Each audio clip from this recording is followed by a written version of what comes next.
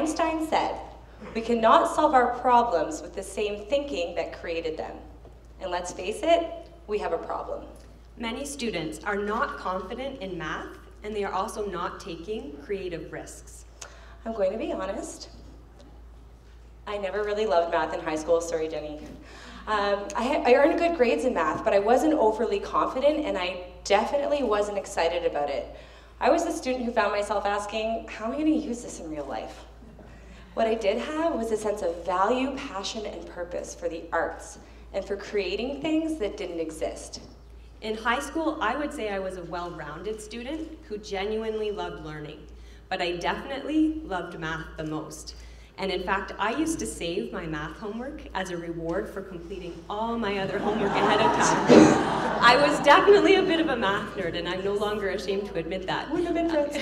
but that being said, I was also a memorizer. I couldn't explain why something worked mathematically or what I could use it for. I just knew how to do it. And like Laura, I had good grades in math, but I wasn't making connections between math and the world around me. This is a challenging problem how do we create opportunities for critical thinking to create a deeper understanding of both visual and mathematical concepts? Take this student artwork, for example. Think about what you see in this work and how you interpret it. As a math teacher, the first thing that jumps out at me is the different shapes in the background, and I'm making connections to area and perimeter. You might also notice the different lines and curves and be wondering, how could I describe those using appropriate terminology, or maybe even connect them to a mathematical equation? As a visual arts teacher, I see a student expressing emotions and an exploration of the imagination. Maybe you're seeing somebody who's experimenting with the use of colors and lines.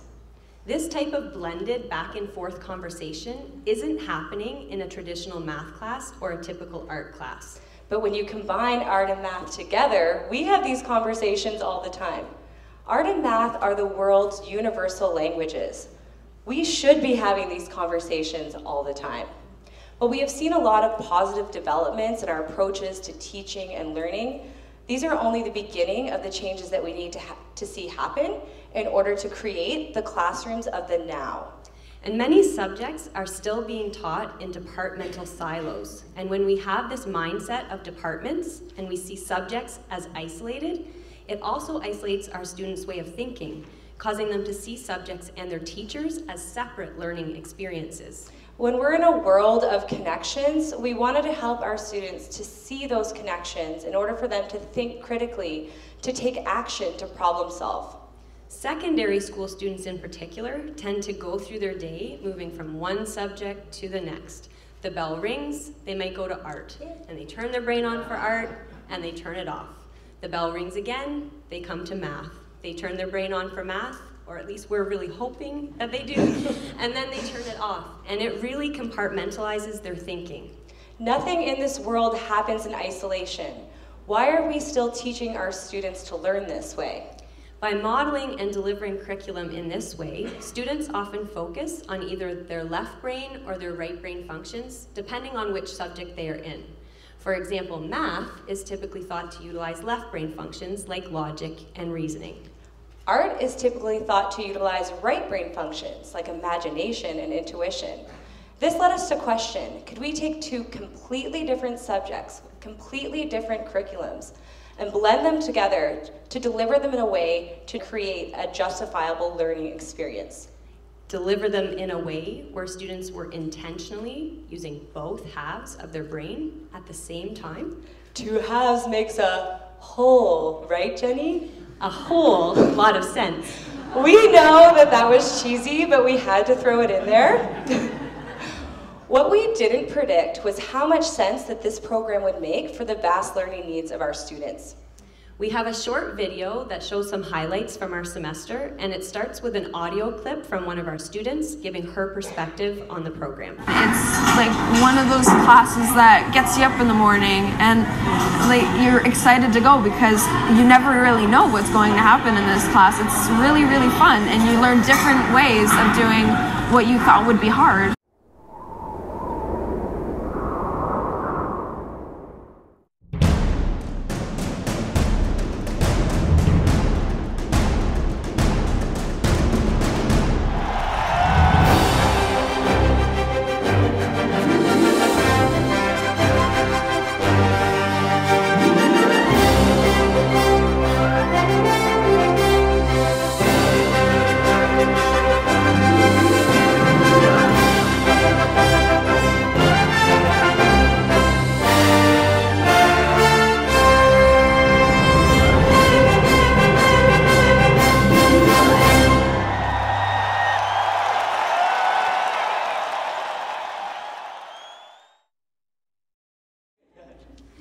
This is the first time in the province that art and math have been intentionally bundled together in this way for an entire semester.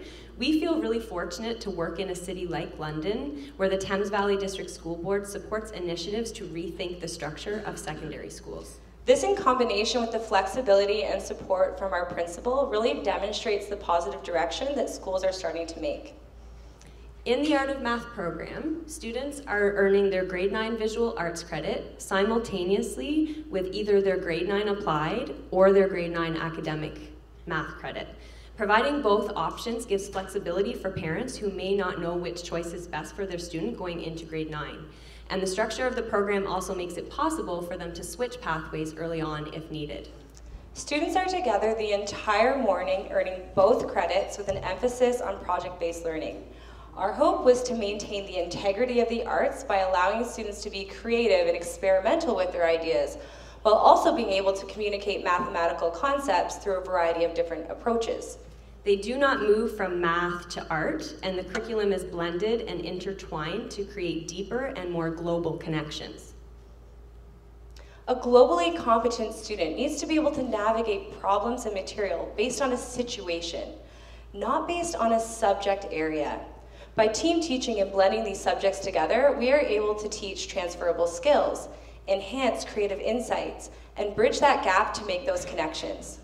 Breaking down the silo mentality shifts student focus from marks to valuable understanding, and it empowers their learning.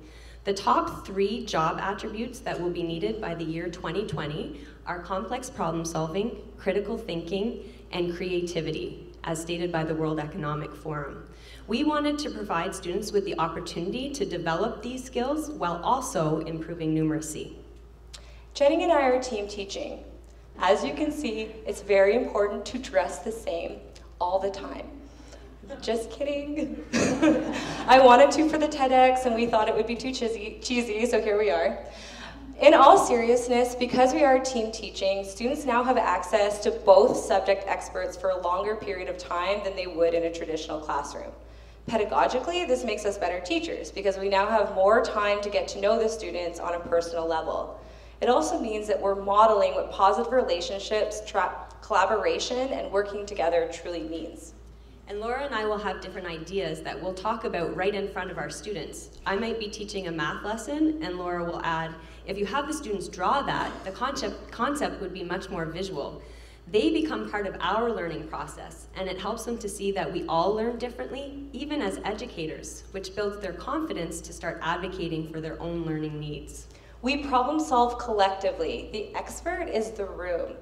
Our goal was try, try to make learning, questioning, and connections visible. Through team teaching, we were also able to assess, reflect, and grow together.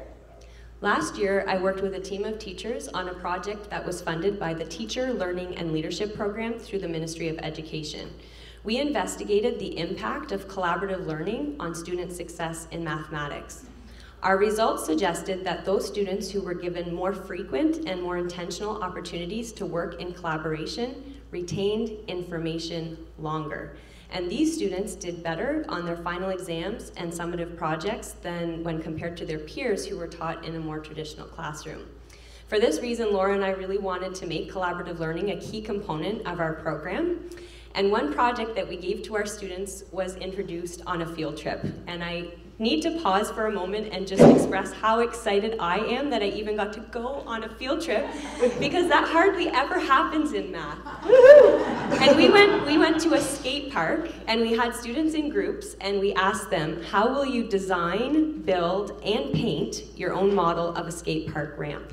We shared that their ramps would be included in a community show and that other students and community members who didn't take the art of math would attend that show to learn from their ramps. This gave them a sense of accountability and purpose.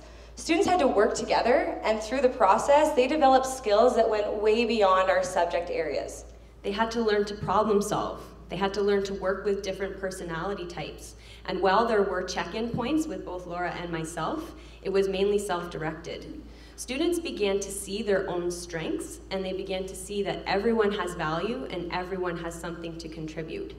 When we asked students to reflect on this project, the part that they enjoyed the most was being able to display the ramp in our final show, in our art show, which you can see here.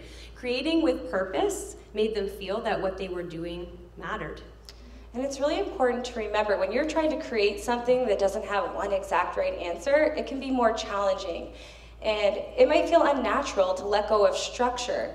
And so, in order to really develop critical thinking and innovation, we couldn't just show another regular math question in order to make those connections. For example, here is a typical math worksheet.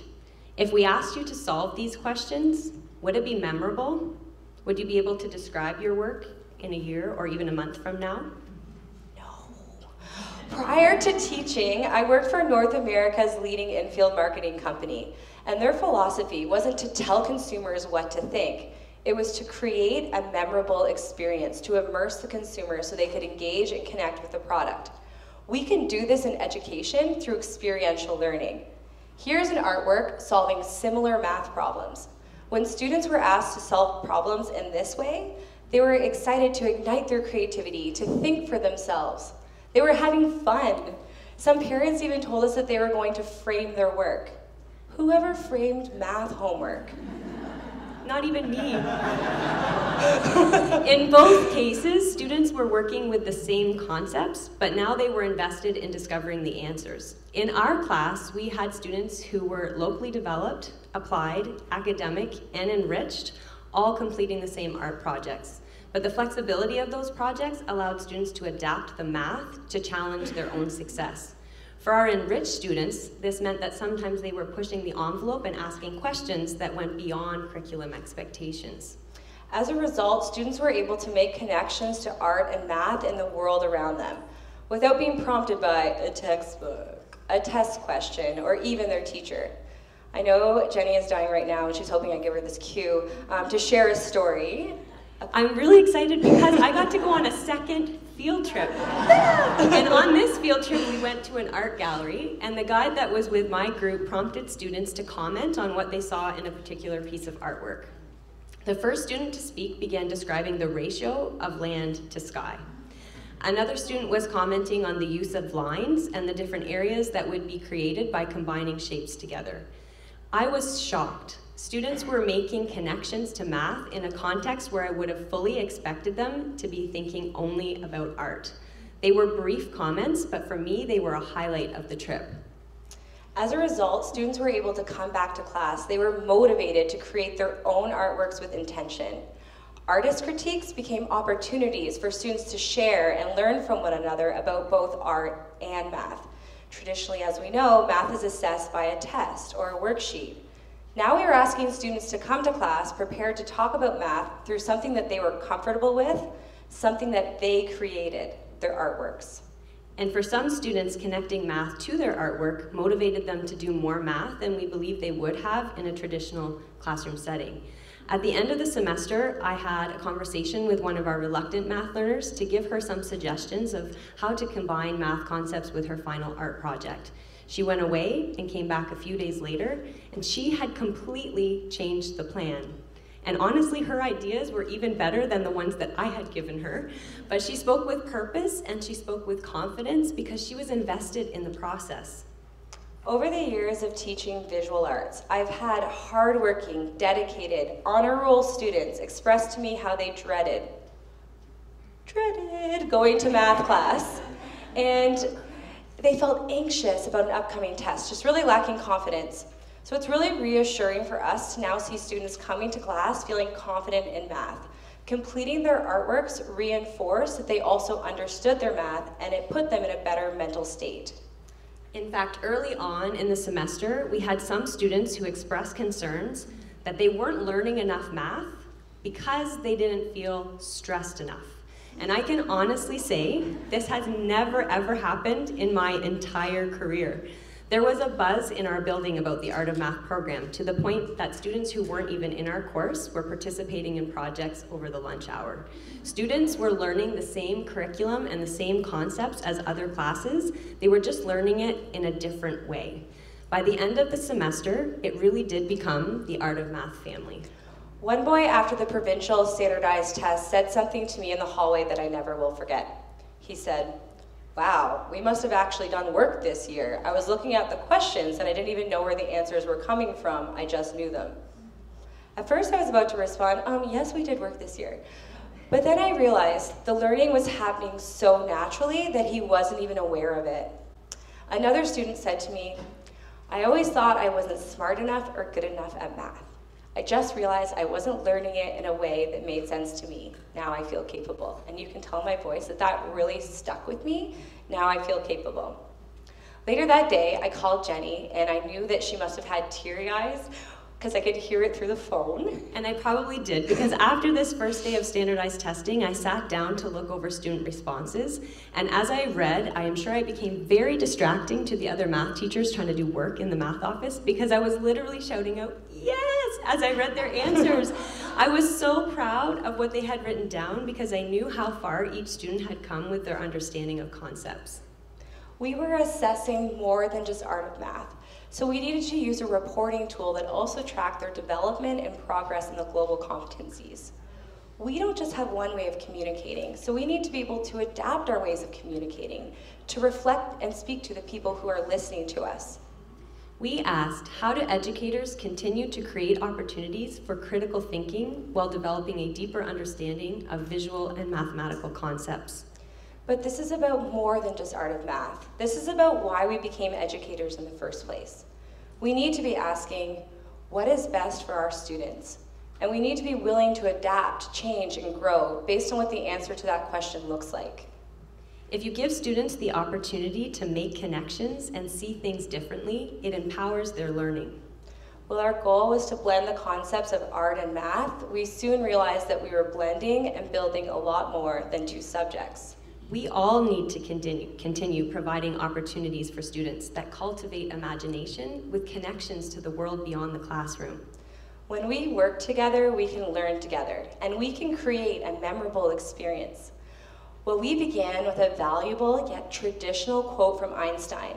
We wanted to conclude with something from our future. So we thought we would end our talk with a quote from one of our students who said, If you look close enough, there is always math in art. Thank you.